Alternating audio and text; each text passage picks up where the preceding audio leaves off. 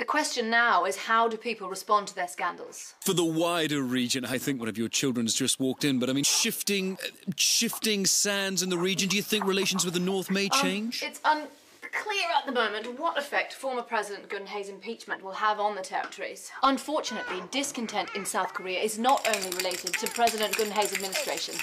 okay. This is a major uh, embarrassment for South Korea, who often criticises the North of corruption, and who now find themselves in the middle of a massive corruption case themselves. Sorry, you do look rather busy there. We can reschedule President this. Geun-hye is No. very likely to face jail time too. Okay. I would argue, in an attempt to make an example of her.